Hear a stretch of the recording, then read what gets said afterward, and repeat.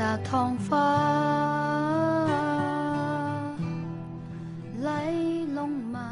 จากที่สูงอาเจริญธรรมสำนึกดีญาติธรรมชาวอโศกทุกๆทท่าน นะวันนี้ก็เป็นเช้าวันที่ 2 พฤศจิกายน พุทธศักราช 2565 ก็จะมาอัปเดตสถานการณ์ แล้วก็สิ่งที่เกิดขึ้นในชุมชนราชธานีอโศก คืออีกไม่กี่วันนี้เราก็จะมีงานมหาปวารณานะซึ่งก็มีชื่องานซ้อนเข้ามาในงานมหาปวารณาปีนี้ด้วย ก็คือมหา Beginning Day นะก็จะเชิญชวนพี่น้องชาวอโศก ที่พอจัดสรรเวลาได้นี่แหละมาร่วมงานกันนะ ราะว่าสถานการณ์น้ำที่ท่วมปีนี้เนี่ยค่อนข้างที่จะเยอะเยอะมากนะท่วมเขาเรียกว่าล้นตลิ่งถึง 4 เมตร 51 เซนนะเยอะกว่าปีเยอะกว่าปี 62 อยู่ 54 เซนนะเพราะฉะนั้นเนี่ยในการที่เราจะต้องมารวมกำลังกันในช่วงงานมหาปวารณาเนี่ย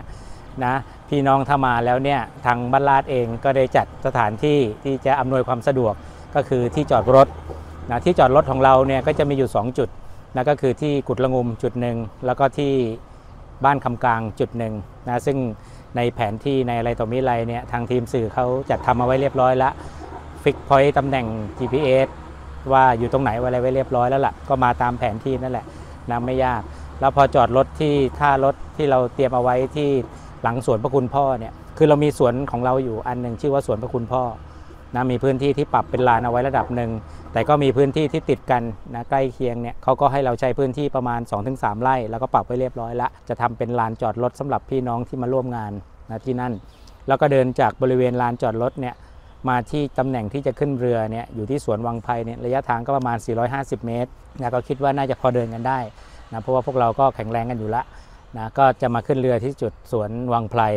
แล้วก็นั่งเรือจากสวนวังไพรเข้ามาในหมู่บ้านราชธานีโศก นะอันนี้ก็เป็นส่วนหนึ่งที่ในการจราจรทางน้ำที่เราจะต้องใช้ตอนนี้อยู่ เพราะว่าช่วงเนี้ยรถยังไม่สามารถวิ่งได้ แต่ก็จะแจ้งความคืบหน้านิดนึงก็แล้วกัน เพราะว่าเมื่อเช้านี้ได้ไปสำรวจเส้นทางที่จะนำรถเข้าในเส้นทางกุดละงุมว่างั้นเถอะก็ถ้าไม่มีอะไรผิดพลาด ซึ่งไม่น่าจะผิดพลาดหรอกเพราะว่าตอนนี้เรารู้ว่ากรมชนเขาพยายามลดระดับน้ำให้ได้วันหนึ่งไม่ให้เกิน 20 เซนนะมันเฉลี่ย 15 เซนมา 3-4 วันติดกันละ นะน้ำจากนี้ไปเนี่ยบริเวณหน้าบวรที่เรากำลังบันทึกเทปกันอยู่เนี่ยตอนนี้น้ำอยู่ณจุดที่เราคุยกันอยู่เนี่ยประมาณ 50 เซนนะเราก็เลยตัดสินใจกันว่าประมาณวันที่4นะวันที่ 4 เช้า เราก็จะเริ่มเปิดการจราจรนะโดยการใช้รถไถ 2 คัน แล้วก็ลากสาลี่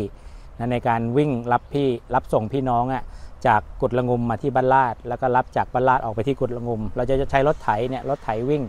นะซึ่งวันนี้พรุ่งนี้เนี่ยทางทีมบ้านลาดก็จะต้องเตรียมเคลียร์ถนน เคลียร์ถนนที่อยู่ในน้ำนะ อันนี้ต้องบอกก่อนเคลียร์ถนนที่อยู่ในน้ำเพราะว่า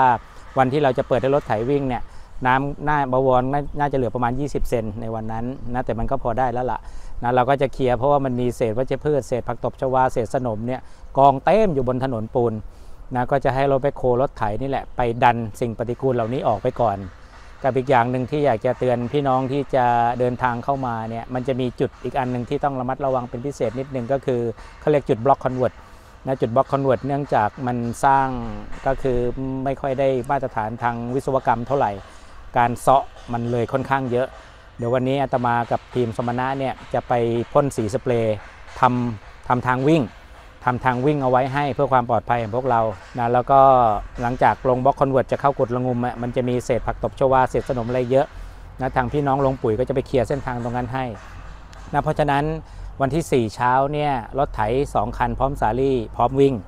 แล้วก็ประมาณวันที่ 6 หรือ 7 อันนี้แล้วแต่นะ ถึงจะอนุญาตให้รถ 6 ล้อวิ่งได้นะอันนี้เราจะดูเรื่องความปลอดภัยมาอันดับต้นๆนะได้แค่ไหนเดี๋ยวจะประกาศเป็นระยะระยะไปทำนองเนี้ย แต่ถ้าเราเปิดถนนเส้นทางกุดละงุมแล้วเนี่ยรถไถกับรถหกล้อวิ่งได้แล้วเนี่ยเส้นทางเรือก็ยังคงใช้อยู่นะเส้นทางเรือก็ยังยังใช้อยู่ เพราะฉะนั้นเราก็จะวิ่งเข้าบ้านลาดทั้งสองเส้นทางทางเรือก็ได้ทางรถก็ได้ว่างั้นเถอะนั่นพี่ๆน้องๆที่จะมาร่วมงานเนี่ยขามานะขามาก่อนวันที่4เนี่ยก็จะได้นั่งเรือเข้าวัด แต่ขากลับค่อนข้างร้อยเปอร์เซ็นต์ละเราจะนั่งรถออกไป นะเพราะฉะนั้นก็จะมีทั้งสองสภาวะ ทั้งมาทั้งเรือกับทั้งรถอะไรประมาณเนี้ยอันนี้คิดว่าน่าจะพอเป็นพอไปอยู่ดังนั้นงานในการที่เราจะมาร่วม Beginning Day กันในช่วงวันที่ 5 ถึง 9 ที่จะถึงเนี่ยมันก็เป็นงานที่ขออภัยนะไม่ค่อยหนักเท่าไหร่นะเป็นงานที่ค่อนข้างที่จะเก็บรายละเอียดตามอาคารตามอะไรท่านเองนะแต่งานหนักจริง ๆ ก็คือหลังจากน้ำลดระดับ คือระดับตอนนี้ที่เราบันทึกเทปกันอยู่เนี่ยน้ำมันยังล้นตลิ่งอยู่ประมาณ2เมตร44เซน 2เมตร44เซนคืออะไรก็คือถ้าเรานึกภาพตามอัตมานะถนนเส้นหน้าบวรเนี่ยไปจนสุดริมมูลเนี่ยไอ้สุดริมมูลคือสิดสุดขอบถนนปูนเส้นเนี้ยเส้นตรงมูลเนี่ยน้ำยังท่วมสุดขอบถนนปูนอยู่อีก 2 เมตร 44 เซนว่างั้นเถอะอันนี้จะได้เข้าใจกันง่ายๆขึ้นนะเพราะฉะนั้นเขาจะใช้เวลาระบายอีกประมาณประมาณหลังวันที่ 20พฤศจิกาไปแล้ว ถึงจะเข้าสู่ภาวะปกติของระดับ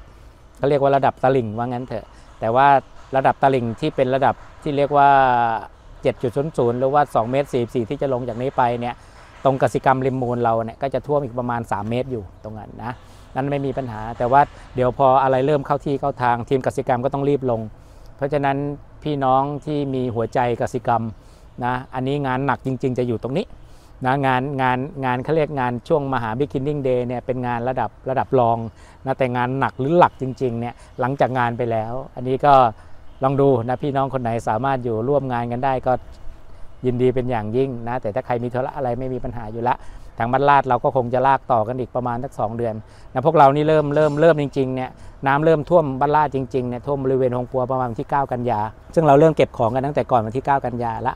นะเพราะฉะนั้นเราก็ลากกันมาเกือบ 2 เดือนนะก็ ก็ก็ก็เมื่อยพอได้อยู่นะแต่หลังจากนี้ไปเนี่ยมันจะมันก็จะหนักนะความหนักก็จะกลับมาเหมือนเดิมอีกอีกประมาณ 2 เดือนข้างหน้าที่จะถึงเนี่ย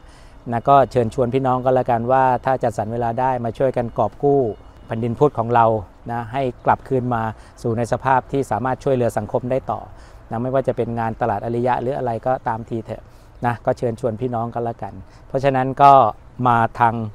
เรือกับทางรถอ้าวเจริญธรรมสำนึกดีพวกเราทุกๆคน บางครั้งต้องปล่อยให้มันไหล